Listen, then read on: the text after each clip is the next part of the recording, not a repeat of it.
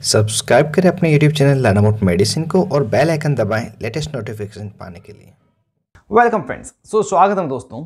आज की इस वीडियो में ब्लड प्रेशर तथा हार्ट रिलेटेड प्रॉब्लम को ठीक करने वाली एक टेबलेट के बारे में जानेंगे। यह टेबलेट दो अलग अलग दवाओं का कॉम्बिनेशन है।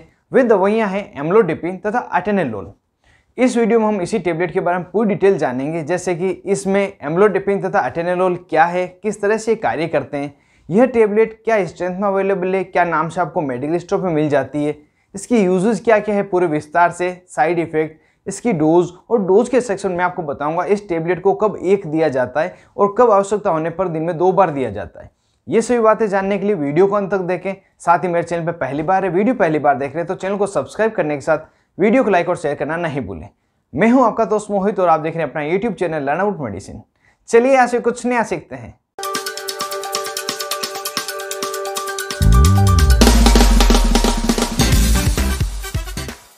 हेलो फ्रेंड्स, नमस्ते दोस्तों। इस टेबलेट में एम्लोडिपिन एक कैल्शियम चैनल ब्लॉकर है, जो कि हमारी ब्लड वेजल्स, खून की नसों को रिलैक्स करके ब्लड के फ्लो को इजी करने का कार्य करती है। साथ ही जो एटेनोल है, ये बीटा ब्लॉकर है, जो ऑक्सीजन के कंजप्शन को हार्ट रेट को तथा हार्ट के कार्य को कम करने का कार्य करता है और ये दोनों दवाइयाँ मिलकर ब्लड प्रेशर तथा हार्ट रिलेटेड समस्याओं को कंट्रोल करने का काम करती है। दोस्तों एम्लोडेपिन तथा एटेनोल इन दोनों के लिए मैंने सेपरेट सेपरेट वीडियो बने हैं। यदि आप में से कोई देखना चाहता है तो ऊपर आई बटन पर क्लिक करके देख सकते हैं। साथ ही वीडियो के अंत में आपको इसकी पिक्चर मिल जाएगी, वहाँ पर क्लिक करके देख पाएँगे। अगर बात कर इस टेबलेट की स्ट्रेंथ की, क्या स्ट्रेंथ होती है तो यह मुख्यतः दो अलग अलग स्ट्रेंथ में अवेलेबल है, जिसमें पहली स्ट्रेंथ होती है एम्लोडिपिन पाँच मिलीग्राम तथा अटेनोल 25 मिलीग्राम कॉम्बिनेशन में, और दूसरी स्ट्रेंथ होती है एम्लोडिपिन 5 मिलीग्राम तथा अटेनोल 50 मिलीग्राम यहाँ पे अटेनोल की जो स्ट्रेंथ है, वो चेंज हो रही है, लेकिन जो ज़्यादातर चलन में है एम्लोडिपिन पाँच मिलीग्राम तथा अटेनोल पचास मिलीग्राम स्ट्रेंथ की जो टेबलेट है, ये ज़्यादा चलन में है।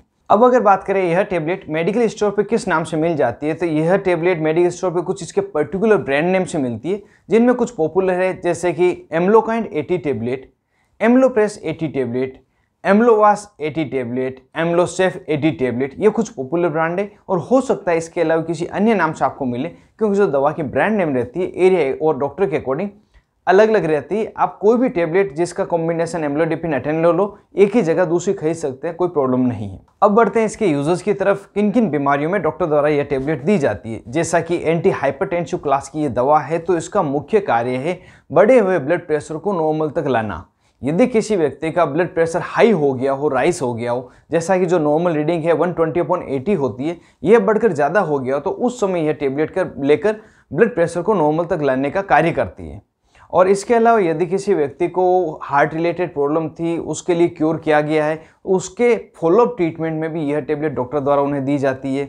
कई बार आपने देखा होगा किसी पेशेंट का ब्लड प्रेशर अचानक से बढ़ जाने के कारण व्यक्ति का जो जबड़ा है, तिरछा हो जाता है, जो मुड़ जाता है। तो उस समय में यह टेबलेट ब्लड प्रेशर को नॉर्मल करके और जो जबड़े को सीधा करने का कार्य में ये प्रयोग ली जाती है। साथ ही एंजाइना पेक्टोरिस के पेशेंट को भी यह टेबलेट लंबे समय तक दी जाती है और इसके अलावा भी किसी भी पेशेंट को ब्लड प्रेशर बढ़ जाने के कारण किसी प्रकार की अगर समस्या हुई हो तो उस समय ये एम्लोडिपिन तथा एटेनलोर कॉम्बिनेशन की टेबलेट डॉक्टर द्वारा दी जाती है। अगर बात करें इसके साइड इफ़ेक्ट के बारे में क्या क्या पेशेंट को साइड इफ़ेक्ट हो सकते हैं? जो मोस्ट कॉमन साइड इफ़ेक्ट है, उसमें व्यक्ति को नोजिया तथा वोमिटिंग होना मोस्ट कॉमन है। इसके अलावा सिरदर्द हो सकता है स्लीपीनेस नींद आए जैसा लगना डिजीनेस रहना कॉन्स्टिपेशन हो सकता है हार्ट रेट उसकी कम हो सकती है, अचानक से ब्लड प्रेशर फॉल फॉल हो सकता है, कम हो सकता है। हॉट फ्लैशिंग की समस्या व्यक्ति को लग सकती है, नाक, कान और चेहरे में गर्म फील होना, साथ ही हाथ, पाँव ठंडे पड़ जाना, थकान महसूस होना, ये कुछ समस्या साइड इफ़ेक्ट के तौर पे होती है।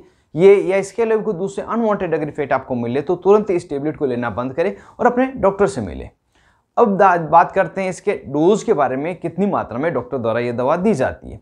सामान्य तौर पर एम्लोडेपिन 5 मिलीग्राम तथा अटेनिलोल 50 मिलीग्राम की टेबलेट डॉक्टर द्वारा पेशेंट को प्रिस्क्राइब की जाती है और इस टेबलेट को हमेशा एक लेने की सलाह दी जाती है और इस टेबलेट को ब्रेकफास्ट से पहले या ब्रेकफास्ट के बाद या खाने के बाद कभी भी लिया जा सकता, कोई प्रॉब्लम नहीं है और यह टेबलेट शुरुआती स्टेज में जब दी जाती इनिशियल जो डोज होती, उस समय दिन में एक बार के लिए दी जाती है और पाँच दिन या दस दिन के लिए दी जाती है। जैसा पेशेंट को इम्प्रूवमेंट मिलता है, उसके अकॉर्डिंग इसकी जो डोज है मेंटेन डोज के रूप में आगे फर्दर दी जाती है और लॉन्ग टर्म में इसको दिया जाता है। और कई पेशेंट में पाँच दिन या दस दिन में बीपी में इंप्रूवमेंट मिल जाता है तो उन्हें ये बंद भी कर दी जाती है। अगर बात करें कब इस टेबलेट को दिन में एक दी जाती है, कब इसे दिन में दो दी जाती है तो यदि किसी पेशेंट का ब्लड प्रेशर बढ़ के 150 जो सिस्टोलिक है गया हो और लगभग 80 या पिचासी लगभग डायस्टोलिक आ गया हो 150 फिफ्टी अपॉन 80 या 90 हो गया हो तो उस समय दिन में एक टेबलेट डॉक्टर द्वारा दी जाती है। और यदि किसी पेशेंट का जो ब्लड प्रेशर है 200 अपॉन 90 या 200 अपॉन 110 हो गया हो तो उस समय दिन में दो बार भी ये टेबलेट दी जाती है। और फिर भी यदि ब्लड प्रेशर पेशेंट का कंट्रोल नहीं होता हो तो कुछ एडिशनल मेडिसिन पेशेंट को दी जाती है और इमरजेंसी में कई बार लेसिक्स इंजेक्शन भी उन्हें लगाया जाता है, जिससे कि एक बार ब्लड प्रेशर फॉल हो जाए, कम हो जाए और फिर ये टेबलेट लेने के बाद नॉर्मल तक आ जाए। तो इस तरह से इसकी जो डोज है बिल्कुल कैलकुलेट की जाती है। यहाँ पर एक सलाह देना चाहूँगा दोस्तों, यदि किसी व्यक्ति का ब्लड प्रेशर बहुत ही ज़्यादा बड़ा हो, उसकी स्थिति बहुत ही सीवियर हो तो उस समय अपने मन से किसी प्रकार की दवा उसे नहीं दे। आप नज़दीकी अस्पताल में मिले या पास के डॉक्टर को बताएँ जिससे कि उन्हें प्रॉपर ट्रीटमेंट दे उन्हें बचाया जा सके, उनका ब्लड प्रेशर नॉर्मल तक लाया जा सके। दोस्तों, इसी के साथ मैंने complete information amlodipine atenolol combination की टेबलेट के बारे में आपको बता दी। उम्मीद करता हूँ ज़्यादा से ज़्यादा जानकारी आपको मिली होगी, कई सारे डाउट्स आपके क्लियर हुए होंगे। और वीडियो आपको ज़रूर से पसंद आया होगा। यदि वीडियो आपको पसंद आए ज़रूर से इसको लाइक करो ज़्यादा से ज़्यादा इसको शेयर करें, जो किसी और की भी काम आ सके। और अभी तक आपने अपने YouTube channel learn out medicine को सब्सक्राइब नहीं किया हो तो नीचे दिए गए बटन को दबाकर जो से सब्सक्राइब कर दें और जो पास में बेल आइकन से ज़रूर दबाएँ, जो आने वाले वीडियो के सभी नोटिस में आप मिल सके और मेरे सभी वीडियो आप मुफ़्त में देख सकें। आप तो अपने दोस्त मोहित दादीज के साथ देख लेते अपना YouTube channel learn out medicine thank you friends take care and be care for medicine users